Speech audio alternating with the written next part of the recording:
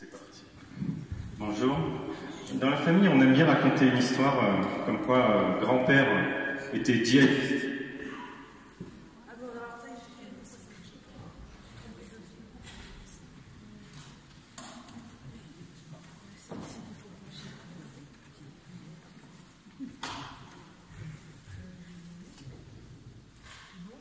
Allô Non.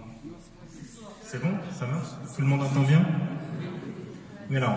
Mais dans la famille, mes, mes tantes aiment bien raconter cette histoire comme quoi grand-père euh, était djihadiste et euh, a combattu les Français pendant la guerre d'Algérie. Et apparemment, euh, il aurait été emprisonné pendant, il aurait été torturé pendant un an par les Français sans jamais avouer ses compagnons. Alors, après la guerre, mon grand-père est venu en France travailler dans les usines. Et donc, mon père est venu ici en France quand il avait 8 ans. Et quand il est arrivé en France, il est tombé amoureux de la France. Il, aimait, euh, euh, la France, ses institutions, son histoire, mais surtout son histoire euh, révolutionnaire. Il glorifiait la République. Il glorifiait la Révolution. Toutes les semaines, il nous citait Danton et Robespierre. De l'audace, de l'audace, encore de l'audace, et la France sera sauvée. En fait, j'avais trois ans la première fois que j'ai entendu le mot paradis. Et j'étais enchanté. Je me disais, euh, disais à tout le monde, euh, comment on fait pour aller au paradis? Je veux y aller. Mais personne ne voulait, personne ne voulait m'expliquer. Ma mère euh, devenait sombre quand elle entendait ce mot. Je pense qu'elle elle pensait qu'elle n'irait jamais au paradis. Je demandais aussi qu'est-ce que c'était ces, ces belles lumières qu'on voyait parfois partout. Mais personne ne voulait me dire ce que c'était. Et euh, tout s'est relativement bien passé jusqu'à l'âge de 3 ans. Et puis là, mes oncles sont arrivés, ont commencé à squatter à la maison. Et euh, du jour au lendemain, on n'avait plus à manger. Ils arrivaient tous les jours pendant que mon père était au travail et ils mangeaient tout pendant qu'on pleurait de faim et ils nous laissaient rien. Et après avoir mangé, ils fumaient leur drogue et après avoir fumé, ils nous faisaient du mal. Et, les ombres ont remplacé les lumières. Et quand j'avais 4 ans, ma mère euh, Ma mère euh, se disputait de plus en plus avec mon père, ils se battaient tous les jours. Et un jour, euh, elle l'a assommé avec le téléphone. Elle nous a emmenés, elle nous a enlevés, emmenés jusque dans le sud de la France pour rejoindre une sœur. Arrivée là-bas, euh, elle nous a abandonnés pour suivre ses frères. Et nous avons été placés à la DAS qui nous a placés en famille d'accueil. Malheureusement, on est tombé sur euh, plusieurs familles d'accueil de racistes qui nous frappaient euh, presque tous les jours. Et euh,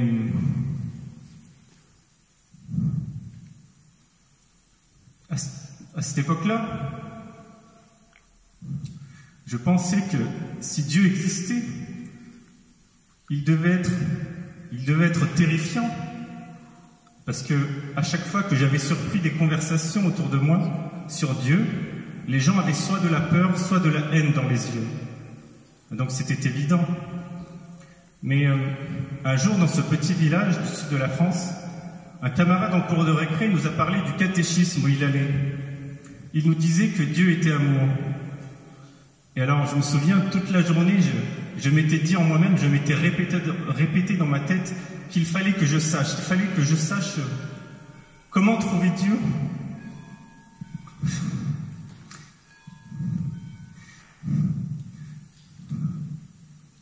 Et en rentrant le soir à la maison, j'ai demandé si moi aussi je pouvais aller au catéchisme. Mais ils ont refusé. Ils ont dit que c'était pas pour moi.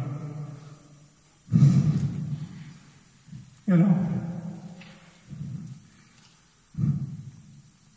C'est à peu près euh, au bout de quelques années de, ces tortures quotidiennes, vers l'âge de 9 ans, que j'ai que j'ai commencé à avoir envie de mourir.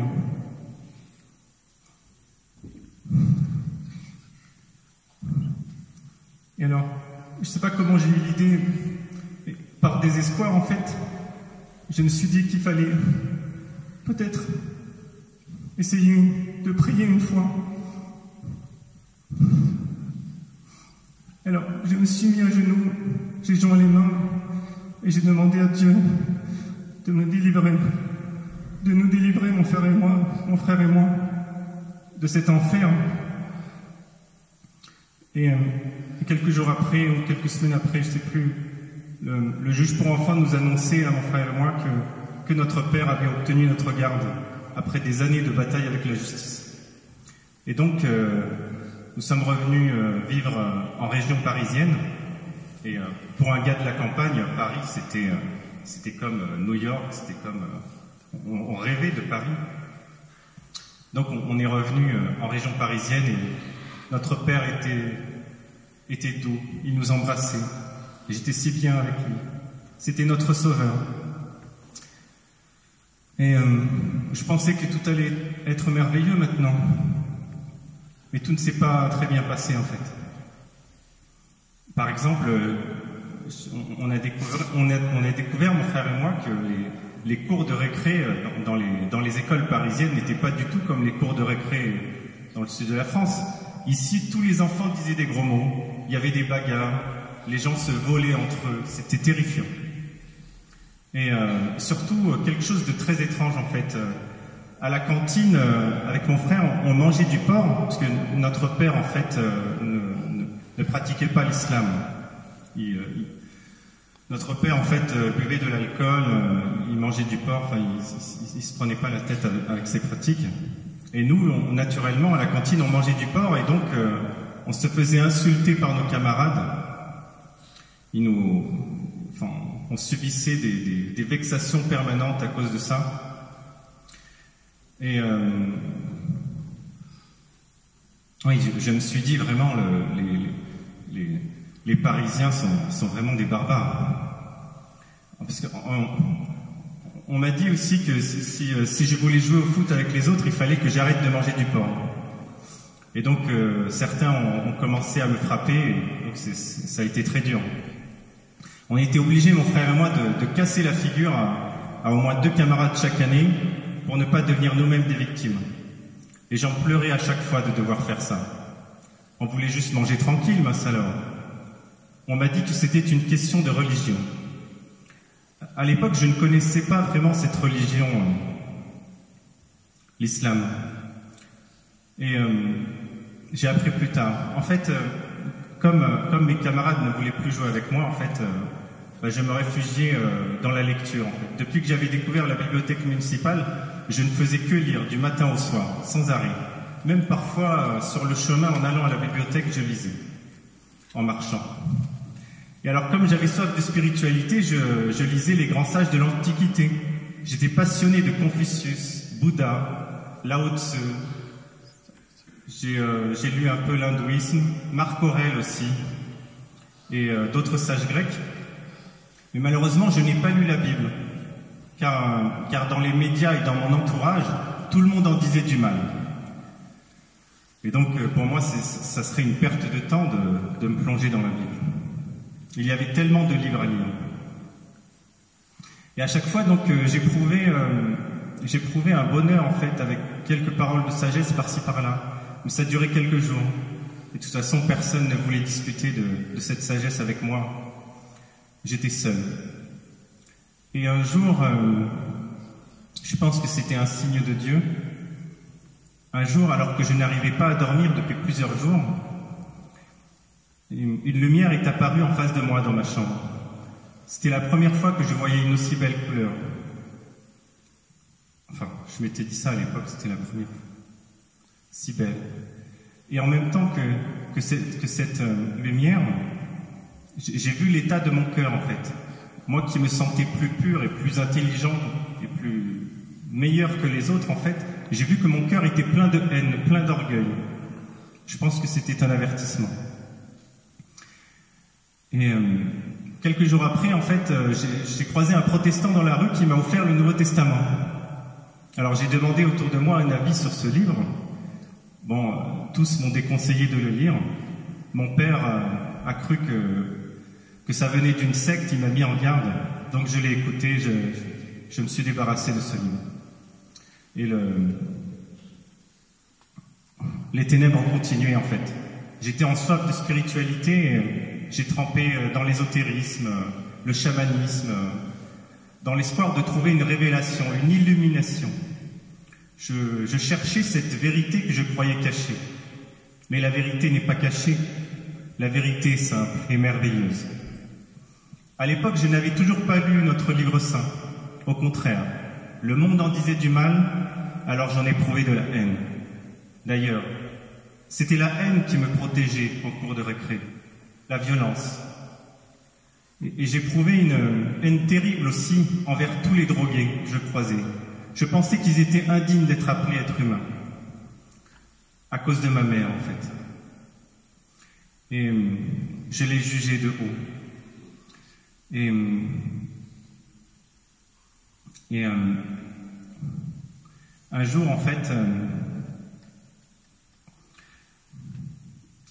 aussi, je, à l'époque, j'ai lu le Coran et les hadiths. Je me suis bien plongé là-dessus, en fait, en pensant que je trouverais des paroles de sagesse. Mais je, suis tombé de, vertige. J'ai lu tous ces livres, le Coran, et il n'y avait aucune parole de sagesse qui touchait le cœur. Je me suis dit, c'est incroyable, c'est pas possible, c'est pas une religion. Et, euh, donc, je ne pouvais pas adhérer à cette religion qui, euh, qui prônait euh, l'esclavagisme, la haine des mécréants. Non, enfin. Je ne pouvais pas adhérer à ça. Mais j'ai été obligé d'adhérer à ça. Mon frère, en fait, quand il a grandi en région parisienne, en fait, il a adopté les, coutumes des jeunes Parisiens qu'il voyait autour de lui. Il s'est plongé euh, dans la délinquance, dans la drogue. Et puis il s'est même converti à la religion des Parisiens, comme je l'appelle. Et alors, euh, il m'a donné un ultimatum aussi. Pour ne pas nuire à sa réputation, je devais arrêter de manger du porc à la cantine. Sinon, il m'aurait tué. Et alors, toute mon adolescence, je devais faire semblant. Et alors, j'ai même été dans un moment dans, une, fondation catholique, que je ne nommerai pas. Dans cette fondation catholique, on ne m'a jamais parlé de Dieu, du Christ. Il n'y avait aucune croix nulle part. Et euh, mes camarades musulmans qui étaient là euh, faisaient un, règne de terreur. si, j'aurais euh, si j'aurais dit que, je n'étais pas musulman, on, m'aurait pris pour un, pour un halki, un traître. Et j'aurais subi euh, des horreurs. Et euh, malheureusement, la, haine, la haine a consumé mon cœur, en fait.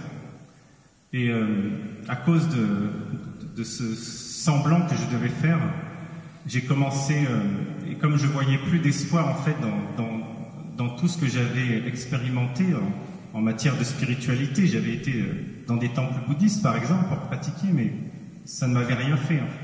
Ça ne m'avait pas délivré. Et donc, euh, j'ai recommencé à, vouloir mourir. Et au bout de quelques années, j'y pensais à chaque seconde, du moment que je, depuis que je me levais jusqu'au coucher, j'y pensais à, chaque seconde. Il fallait que je me libère de cette vie, en fait. Et donc, à, 19 ans, je l'ai fait. Alors, euh, après avoir lu Yukio Mishima, en fait, euh, je voulais mourir d'une mort violente. Alors je, me suis coupé les veines et ça ne marchait pas. J'étais toujours conscient. Puis j'ai fabriqué un gaz toxique. Et là, ça m'a brûlé les poumons, mais je ne mourrais pas.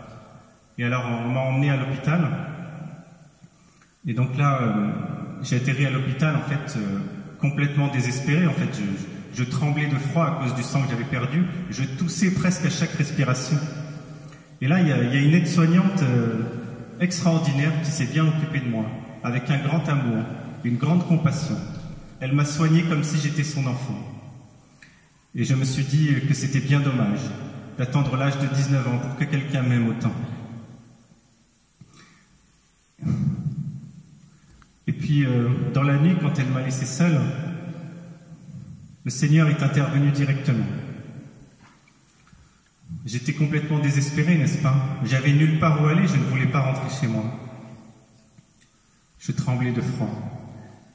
Et là, il y a eu une lumière et une présence d'une magnificence extrême. J'avais jamais ressenti ça avant. Et il m'a délivré en, quelques instants, en fait. Il m'a délivré en quelques instants de, de cette horreur qui m'écrasait depuis des années, des années. Depuis que j'étais tout petit, je, subissais en fait cette, présence mauvaise en moi qui m'écrasait, qui me désespérait. Mais en quelques instants, il l'a chassé. Et euh, il m'a montré comme la vie était belle aussi. Je ne le savais pas. Il m'a montré que souvent il avait été là pour moi. Et que moi, j'avais choisi de l'ignorer. Mais je ne savais pas qui il était. Et puis au moment de, il commençait à partir, je lui ai fait deux promesses. Que je ne recommencerai plus, que j'allais aimer la vie. Et que j'allais dédier ma vie à, soigner les autres. Que j'allais devenir aide-soignant. Et alors, euh, et alors euh, je, n'avais que cette promesse en fait en sortant de l'hôpital. Et alors, euh, il, il, ne m'avait pas dit qu'il était. Il a attendu que je que je réalise cette promesse. Quelques mois plus tard, alors que je sors du concours d'entrée en école de soignant, un protestant dans la rue m'offre le Nouveau Testament. Alors bien sûr, je me suis dit, euh, bah, pourquoi pas? J'ai lu et bah, c'était magnifique. J'aime bien dire, euh, j'ai vu, j'ai lu et j'ai été vaincu. les paroles de Jésus étaient tellement belles en fait. Elles étaient plus belles que tout ce que j'avais lu avant. Et elles faisaient pleurer de joie, comme lui ce soir-là. C'était une telle délivrance, en fait, une telle espérance. Et on m'avait caché pendant tout ce temps ces belles paroles. Et alors, euh, je me suis dit qu'il fallait que je devienne chrétien. Alors, en parallèle, en fait, entre le moment où j'ai été délivré à l'hôpital et le moment où on m'a donné euh, le Nouveau Testament, j'ai fait des rêves fantastiques, en fait. Des rêves plus intenses que la réalité. J'appréhendais même d'aller dormir comme celui qui appréhende la veille d'un saut en parachute. Je ne savais pas ce qui allait m'arriver, mais ça allait être intense et puissant. C'était des rêves en couleur. Et alors je voyais souvent dans ces rêves euh, une révolution sanglante en France.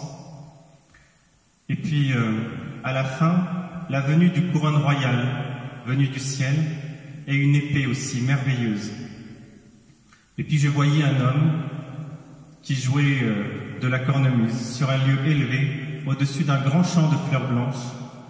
Et en fait, c'était une musique magnifique. Des années plus tard, en fait, plus de sept ans plus tard, en fait, euh, j'ai découvert cette musique par hasard. C'est la marche des soldats de Robert Bruce. Et apparemment, euh, les, soldats du, roi Charles VII, en fait, euh, sa garde personnelle était constituée, d'Écossais, en fait. Et apparemment, cette, musique aurait été, aurait été faite, aurait été jouée devant Jeanne d'Arc pendant la libération d'Orléans. Alors, euh, je voyais aussi euh, Paris détruit, et je voyais les, tyrans, en fait, euh, qui s'effondraient après avoir...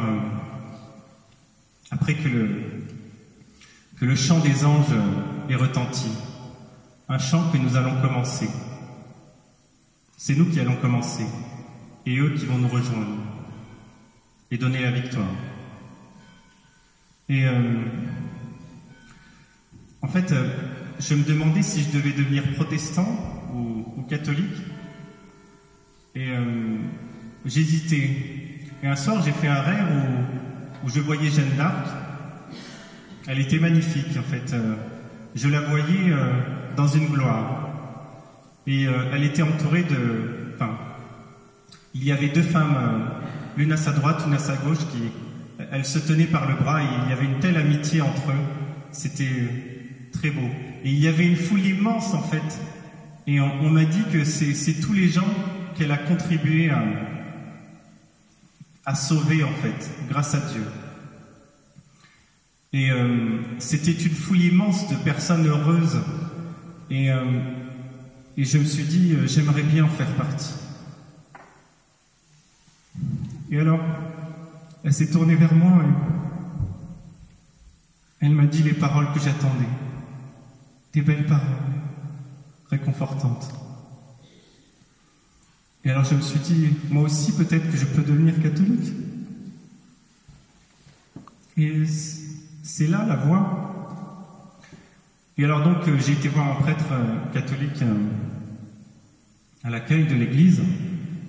Et oui, enfin, je voulais savoir s'il y avait d'autres personnes qui, qui, étaient investies de, de l'Esprit Saint de nos jours aussi. Je voulais savoir si tout ce qui était dans les évangiles était vrai. Et j'ai fait presque toute la Bible avec lui. Je lui posais plein de questions. Mais souvent, en fait, sur le côté merveilleux, il, semblait ne, pas croire au merveilleux, en fait, au, miracle. Il, était pour, dire que Jésus était bien ressuscité, mais, mais les miracles, pour lui, c'était un peu comme des paraboles, c'était des, façons de parler. Mais j'ai quand même continué. Je me suis dit, euh, je ressens que c'est la bonne voie. Je veux aller plus loin. Et donc j'ai demandé euh, à commencer le catéchuménat. Et là, il, et là, il s'est passé une horreur. En fait, euh, euh, j'ai commencé le catéchuménat avec un prêtre qui était le, plus proche de chez moi, en fait, un autre prêtre. Et lui va nous, nous expliquer que, que, les miracles, bien sûr, n'étaient pas, n'étaient pas vrais, hein, que c'était des, des, façons de parler. Il, nous disait, oui, que, que, le diable n'existait pas, par exemple. Et un jour, en fait, euh, j'ai explosé, enfin, lors d'une réunion un je lui ai dit, mais quand même, Dieu a agi dans l'histoire. On le voit par les prophètes. On le voit, enfin. Et alors, il, nous a dit non, Dieu n'a jamais agi dans l'histoire. Et puis je lui ai dit, mais quand même, Jésus est ressuscité, enfin, ses, compagnons l'ont touché, ils lui ont parlé. Et là, il a dit non, ils ne l'ont pas touché, il ne, leur a pas parlé, ils ont eu une expérience de sa présence. Sans qu'il arrive à me définir qu'est-ce que c'est cette expérience, puisque c'était ni physique, ni, euh, ni euh, enfin bref, euh, aucun, aucun de nos sens. Et alors là, j'étais désespéré en fait. Ça m'a fait tellement mal parce que j'avais attendu tellement longtemps qu'on me dise.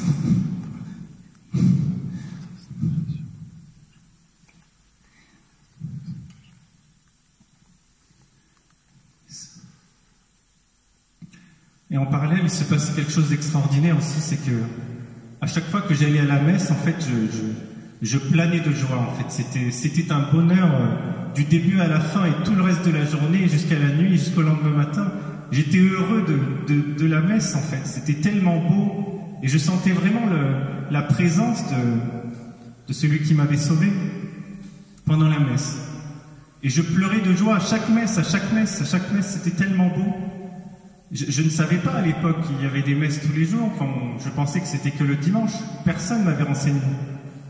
Je ne savais pas qu'il y avait des groupes de prière parmi les catholiques. Personne ne m'avait renseigné. Et là-bas, en fait, dans cette église, j'ai adhéré à la JOC, Jeunesse ouvrière chrétienne, parce que je pensais qu'il n'y avait que ça.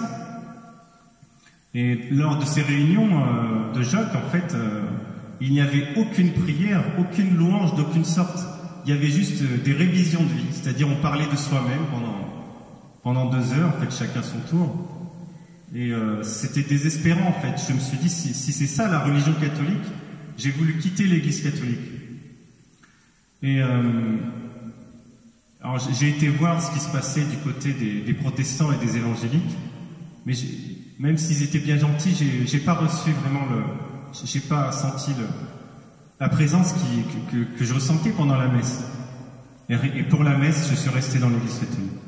De toute façon, je ne pouvais pas faire autrement, c'était tellement beau. Et, euh, vraiment, oui, je, je, planais de joie à chaque messe. D'ailleurs, je ne comprends pas pourquoi aujourd'hui les, jeunes se, se plongent dans la drogue, alors qu'il y a la messe, ils pourraient planer. Euh, il y a beaucoup de choses. Euh, oui, enfin, pour moi, l'Église vivante, vivante, oui. C'est l'Église catholique, avec tous les saints qui ont des histoires si merveilleuses, qui nous apprennent. Et euh, oui, enfin, j'ai découvert petit à petit la communion des saints. Et euh, après avoir après avoir lu euh, la Bible, bah, j'ai fait un rêve fantastique aussi, où je voyais la venue d'un roi en fait, après des guerres terribles et des fléaux terribles. En France, un roi qui viendrait euh, rétablir la justice et la paix et qui serait accompagné d'un saint prophète. Et c'est grâce euh, à la vaillance du roi que, la paix sera rétablie. Et c'est grâce à, ce saint que, le roi sera toujours bien conseillé. Et euh, c'est mon rêve le plus merveilleux en fait. Le, Christ a, réalisé beaucoup de rêves merveilleux dans ma vie et j'aimerais qu'il les réalise tous.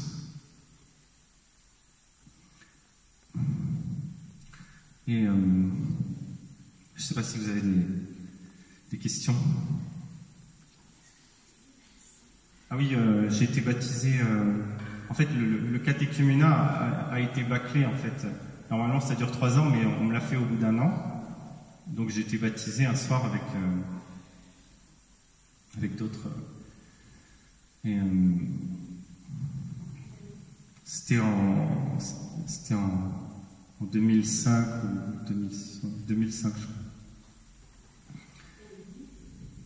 C'était euh, dans l'église du Sacré-Cœur, l'église du Sacré-Cœur à Colombes. Alors justement, en fait, euh, ce prêtre euh, dans l'église du, Sacré-Cœur, euh, j'ai appris qu'il y a 20 ans de ça, en fait, il avait fait enlever toutes les représentations du Sacré-Cœur de l'église, parce qu'il disait qu'il qu'il fallait pas vénérer euh, le cœur de Dieu, et pourquoi pas son œil, et pourquoi, et pourquoi pas son pied. Et même, je me souviens, euh, à un moment, je, souviens, dans cette église, à un moment, je, voyais une Africaine qui, qui, qui se mettait à genoux pendant le pendant le pendant la, la consécration, voilà, et même pour même pour communier, elle se mettait à genoux pour qu'on lui donne l'hostie. Et alors je me suis dit, mais c'est formidable, enfin, je voudrais faire pareil. Et donc j'ai fait la même chose et ce prêtre s'est énervé. Enfin, il ne voulait pas qu'on s'agenouille.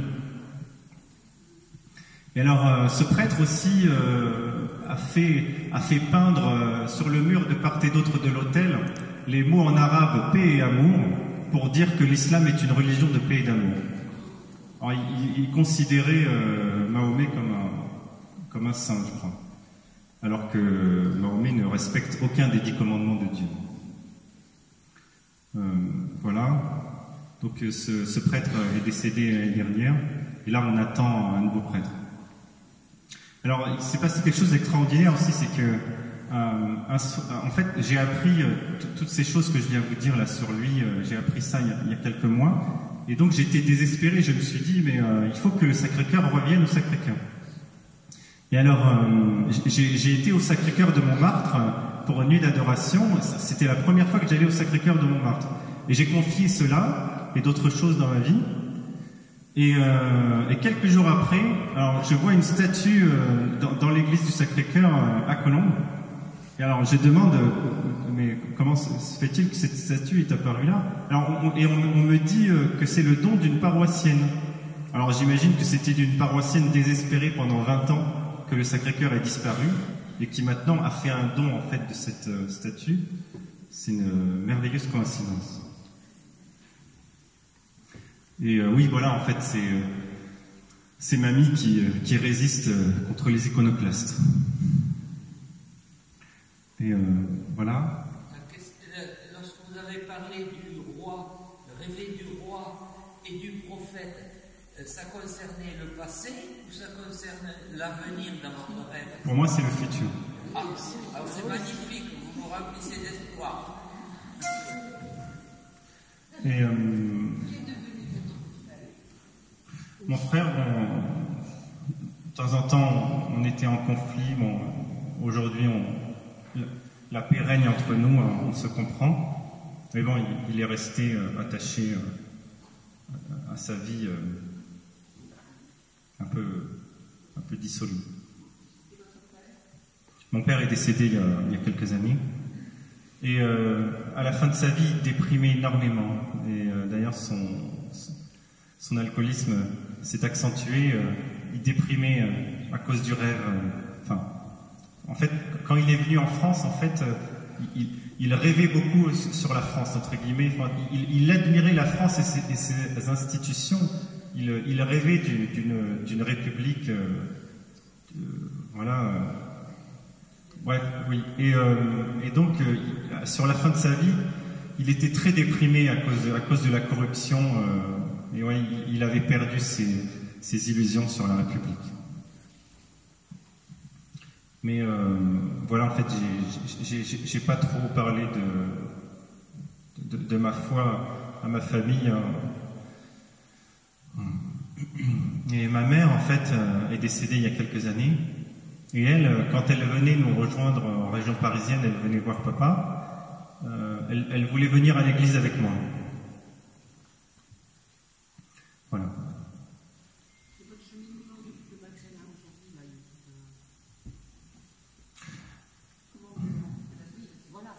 Comment Vous avez cheminé depuis votre baptême à aujourd'hui. Il y a eu la rencontre avec l'association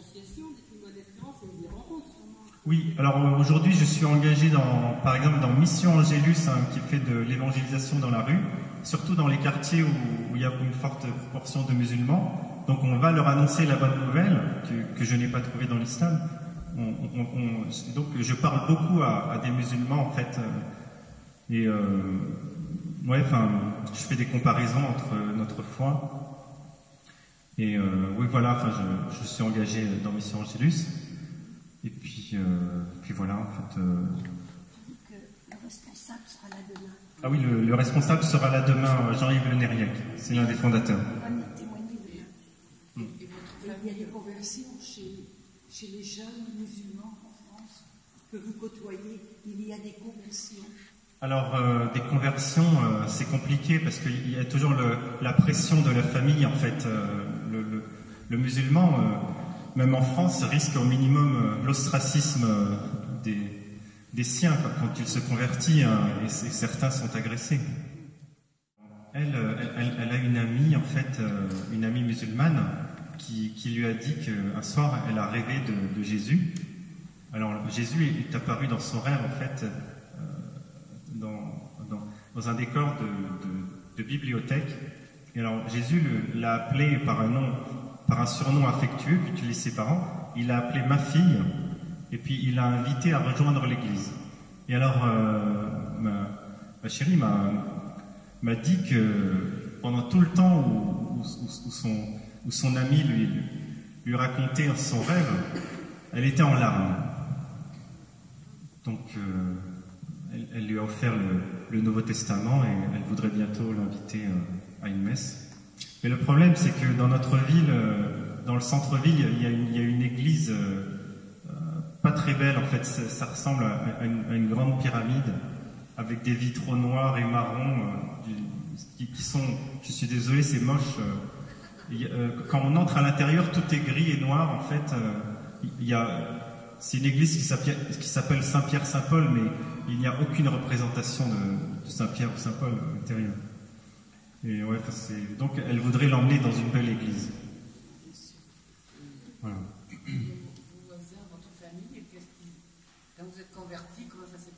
Alors, euh, du côté des tantes, euh, elles étaient déçues, euh, mais j'ai discuté beaucoup de fois avec mes tantes et il y, en a une qui me dit, ben, j'accepte j'accepte ta conversion. Et bon, après, enfin, oui, enfin, euh, du, côté des oncles, par contre, il y, en a beaucoup qui veulent plus me, parler. Bon, mais après, enfin, j'ai pas trop grandi avec eux, donc ça, ça, pas, ça me fait pas énormément de peine.